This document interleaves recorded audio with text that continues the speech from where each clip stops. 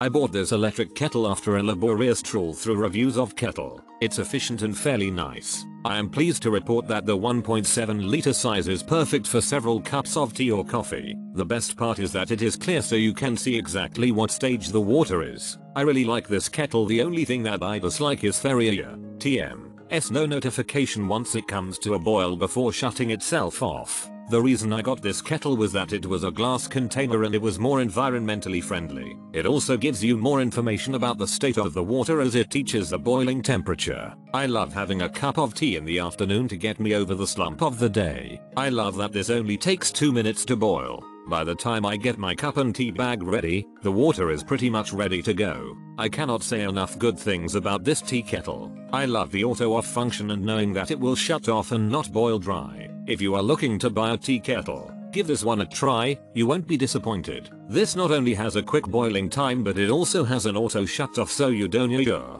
TM T have to worry about leaving it on. This is made of borosilicate glass and stainless steel material. The LED light I personally like because it makes it look fancy haha. This is easy to clean and fill. I love it. Uh, TM. They've been wanting one for a long time for those times I don't ya. TM. T want to wait for some water to boil. That takes forever, especially if you watch it die plus.